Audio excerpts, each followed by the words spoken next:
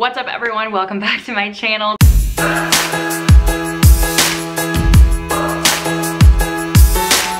Today I'm doing a Q&A video.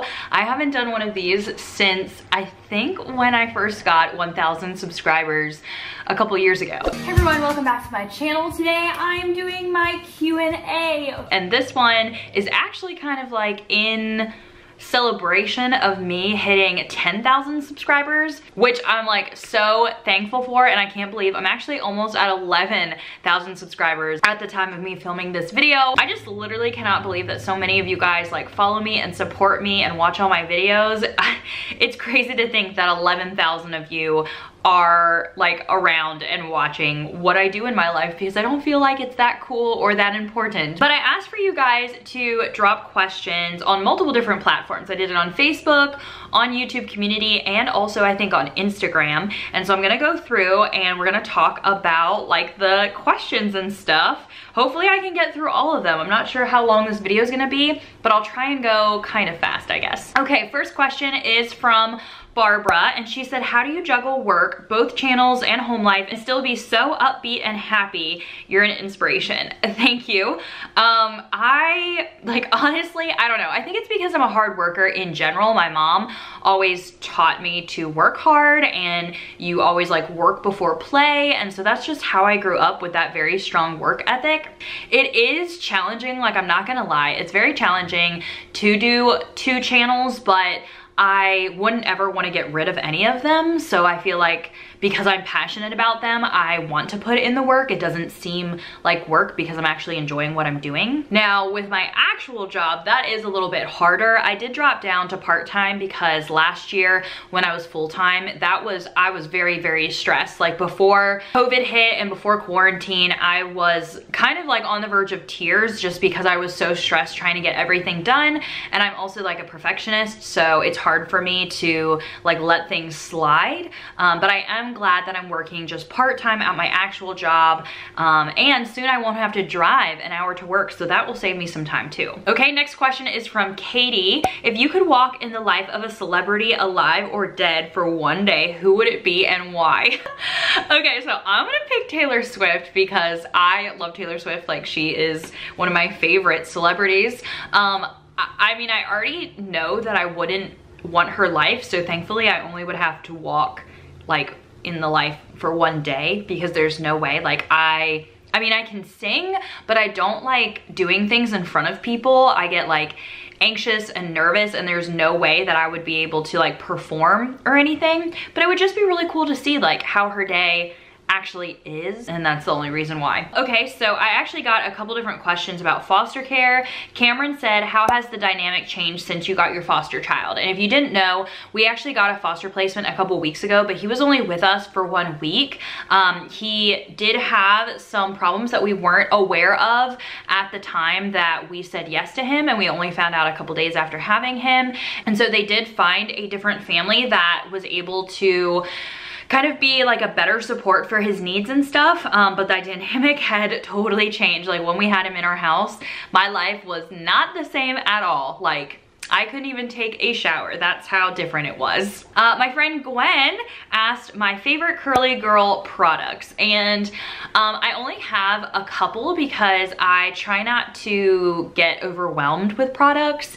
Um, I do really like the Shea Moisture shampoo and conditioner. I will like try and post a little picture here or whatever. Um, I do use those. And then I love the Not Your Mother's gel. That has been working for me. I also use the curling cream, which is what I did in my hair today. So I don't have any gel. It's just the curling cream. And then I recently picked up this shampoo and conditioner that I've been actually really liking too because it has a little bit less like butters and oils. My hair is very fine and if I have too much like butters and oils, it can like make it really heavy. I also really love my wet brush. Gwen also asked, what's something you're looking forward to in 2021? I am definitely looking forward to my new house. Like we're moving December 5th and I cannot wait to live in that house in 2021. It's gonna be so great. I'm excited for all the videos I'm gonna film there, all the extra time I'm gonna have for not driving to work. Um, I got a bike and I'll be able to ride around the new town that we're moving to. Like that's what I think I'm most excited for. My friend Missy said, what's something you've learned to love about yourself in the last year? oh, we're, we're diving in deep, everybody. Um, okay, so I do struggle with always wanting to lose weight because I have been like fat shamed a lot before and I just don't feel very comfortable. Um, I, I have a lot of fat like around my belly and people always ask me if I'm pregnant. And so I think that like I am at a lot higher weight than I've been the last couple years. Um, but I've been trying to like embrace it instead of like hating my body for it.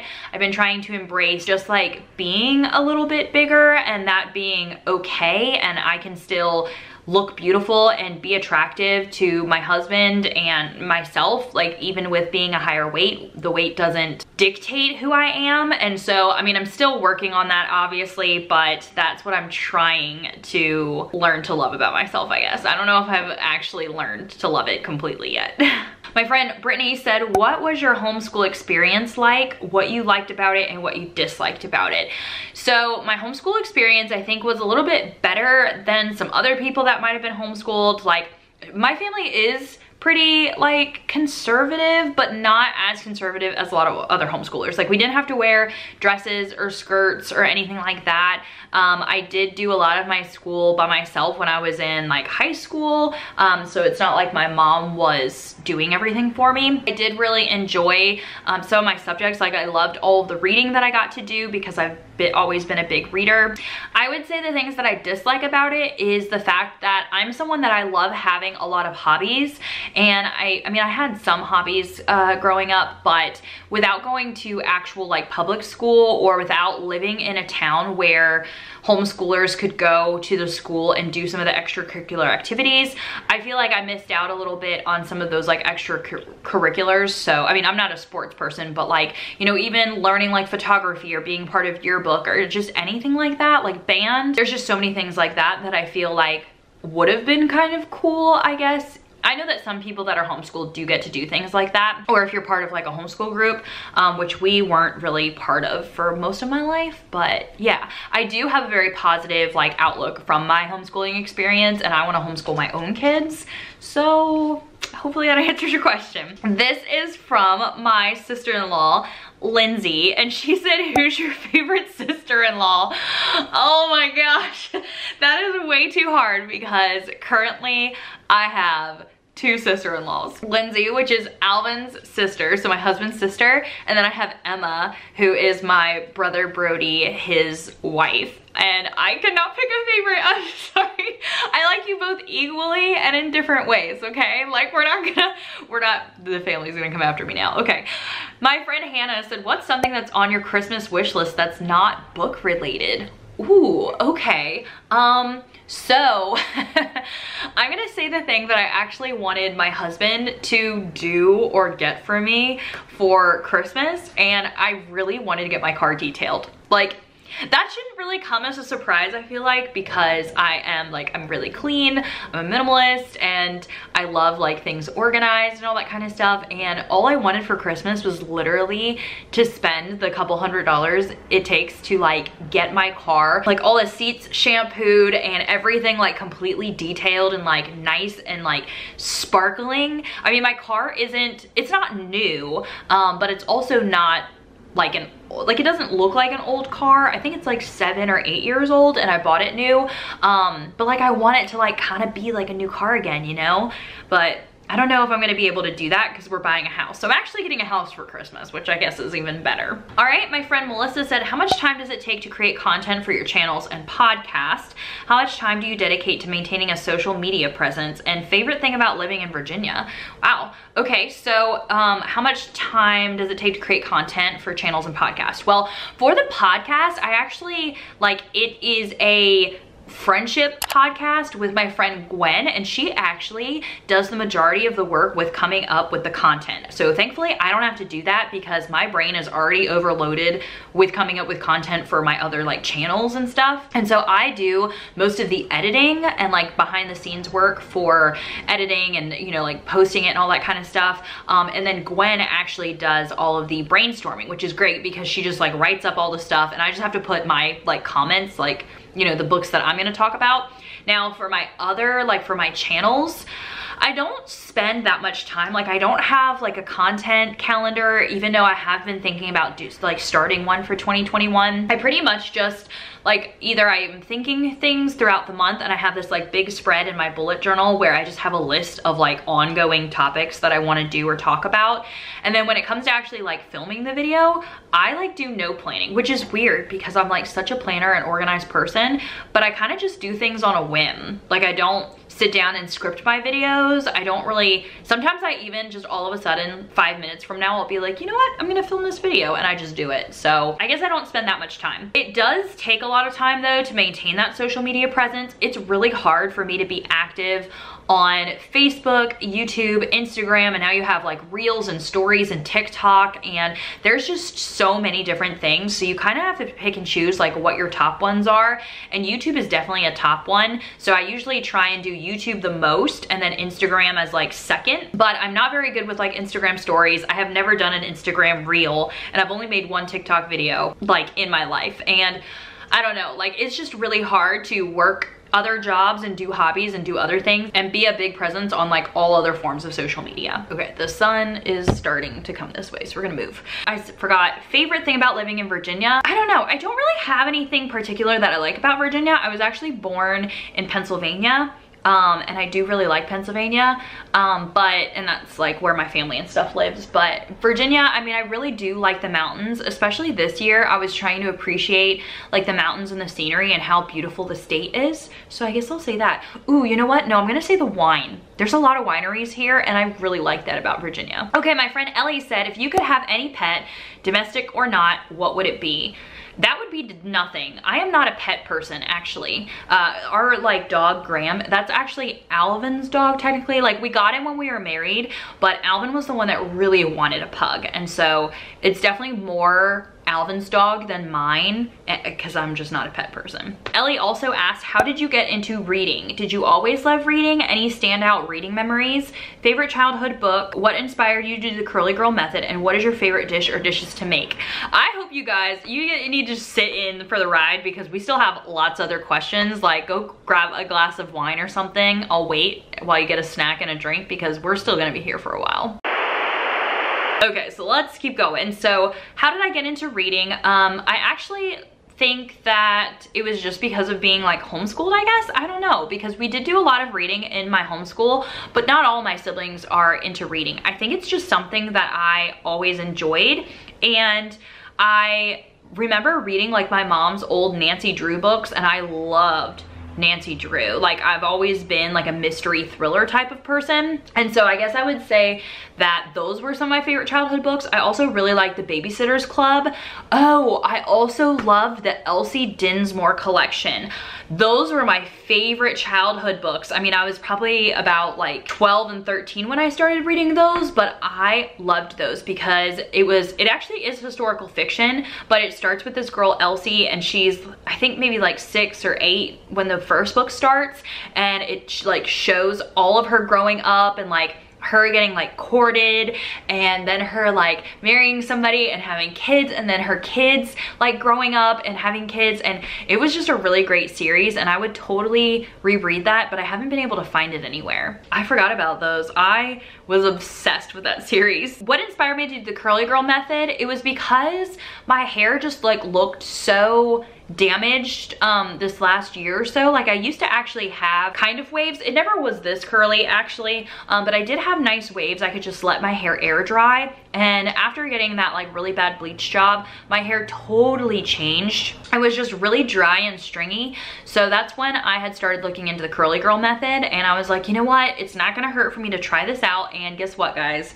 It did not hurt for me to try this out. I'm very happy with my hair. And what is my favorite dish or dishes to make? I actually love baking bread. That is I think one of my favorite things is like baking desserts and baking bread.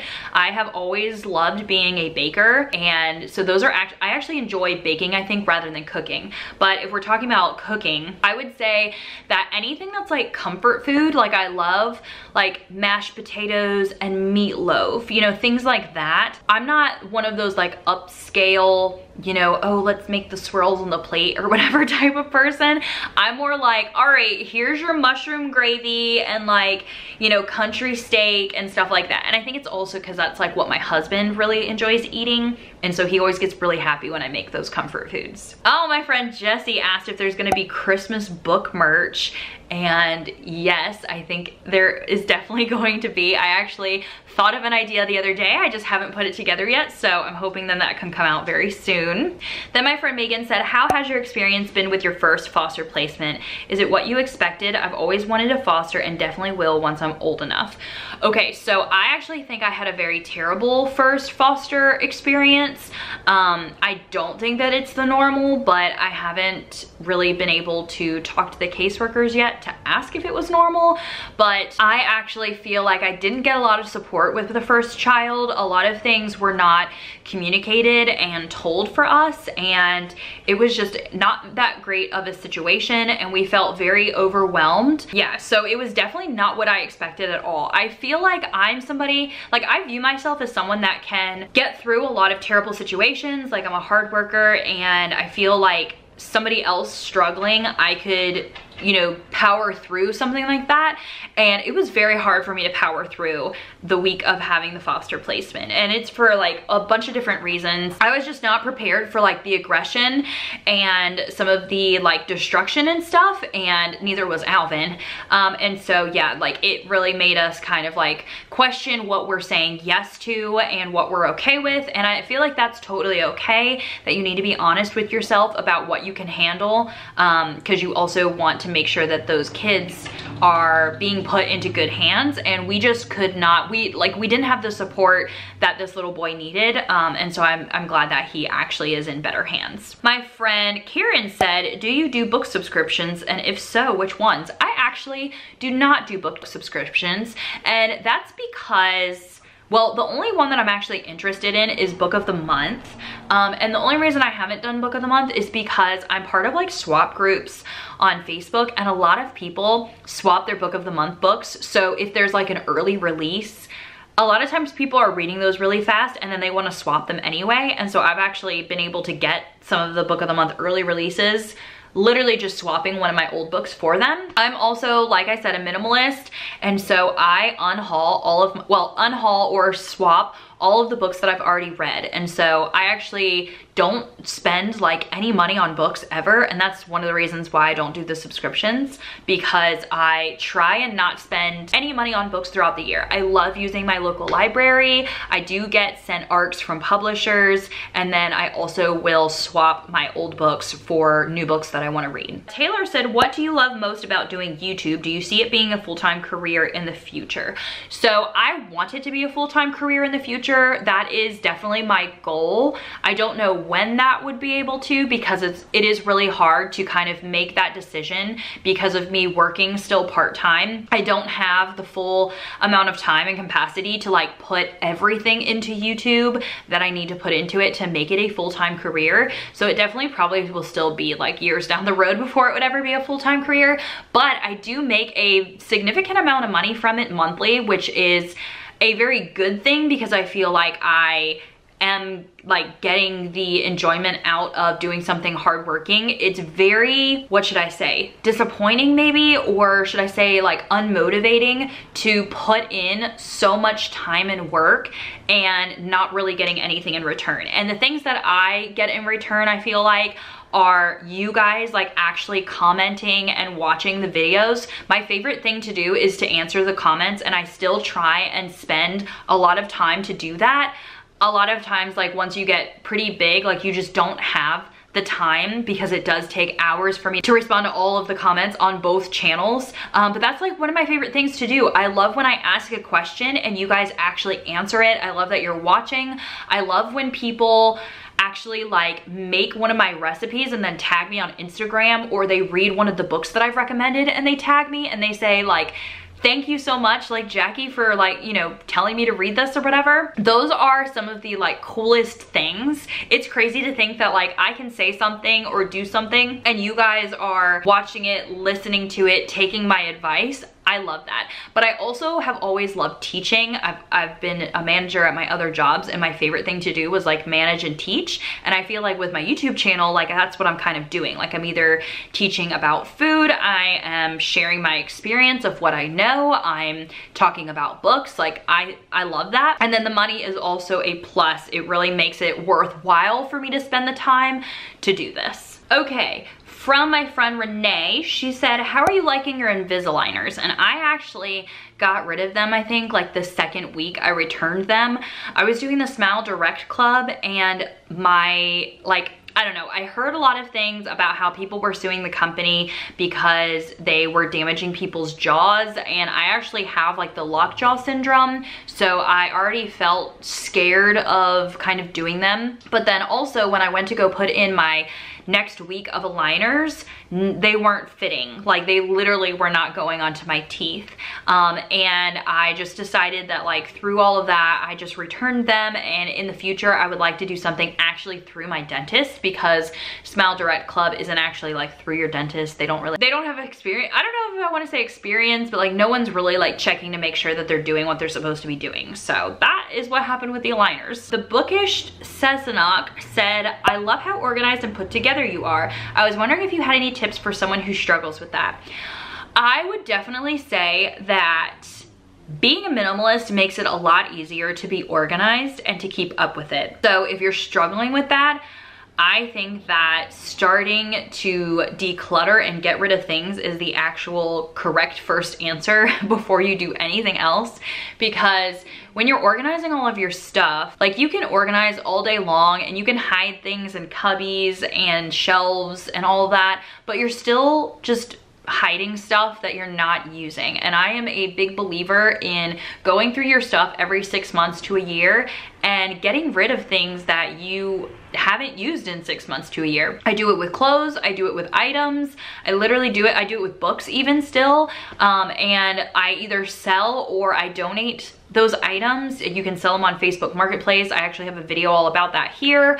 Um, I also do yard sales and stuff. I mean, not during COVID, but before I did yard sales and you can make good money like from selling the stuff that you're not using. But I feel like that's how I stay the most organized because I will go through rooms every couple months and put together a pile of like things that we aren't using, things I can donate. And I do that constantly. I don't wait 10 years and then decide to do it because then it can be very overwhelming. Okay, Jada said, what are your favorite podcasts?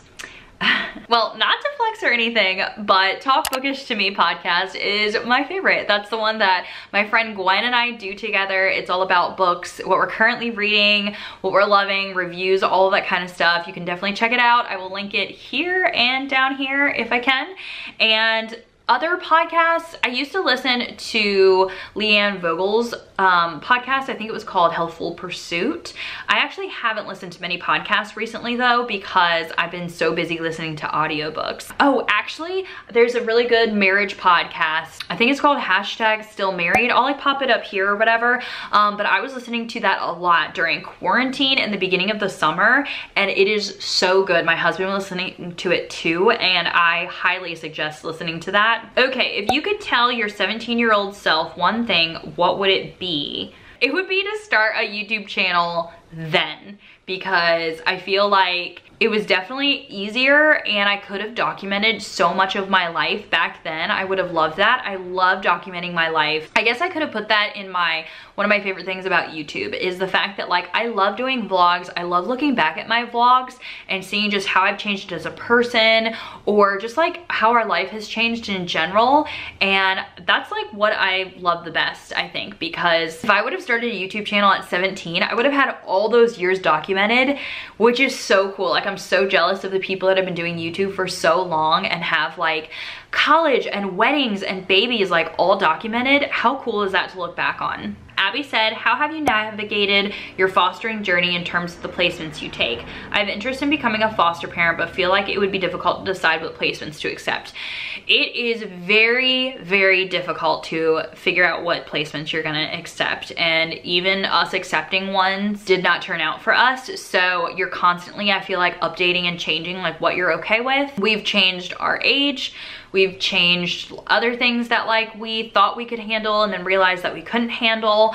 Um, and so you really just have to be like really honest with yourself and I don't think you're ever gonna get it perfect. Um, some things you might have to struggle through and then decide that it's not for you. Some things you might actually just decide you're gonna you know, try out on a whim and maybe you see that you can handle it. So that is a very hard thing and you just kind of have to start at your basics and then kind of like move it around and figure out. Laura said, how did the later part of your foster journey work?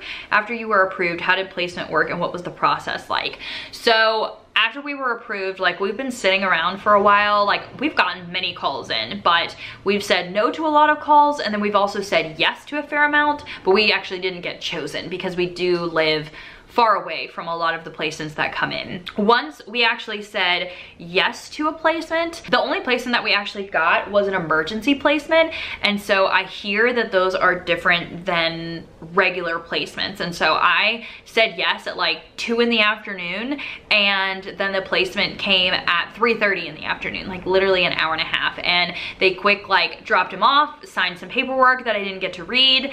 Um, and they were like, see you bye. And that's like pretty much it. Um, and so I actually have some vlog footage from that placement, but because I like struggled so much later on in the week, I didn't know if I should post any of that content because um, I was like really excited when I was first getting the placement and then I like was very very very just struggling and not in a great place like afterwards um, and so I'm still not sure if I'm going to edit that footage and put it together in kind of like a my experience type of video because I know that that doesn't happen to everybody and I don't want to deter people from being a foster parent um, but I also want to share my experience and you know where I'm coming from and everything so yeah, that is um, how our foster placement went and um, yeah it was I, I, don't think that that's the normal. Okay I'm moving again because the sun just keeps shining in my eyeballs. From Natalie favorite recipe to cook now that you've started to move away from keto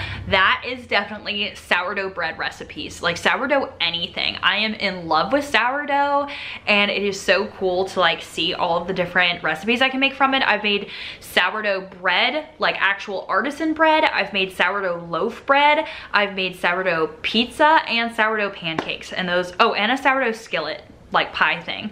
Those are all really, really fun to make. Tammy said, if you wrote a thriller, what would it be about?